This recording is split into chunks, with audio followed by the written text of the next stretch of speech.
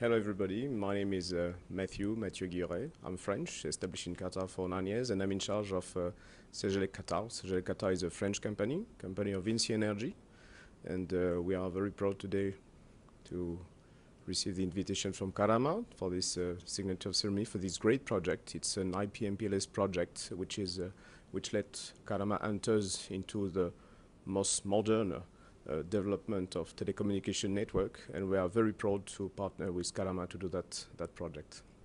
Thank you.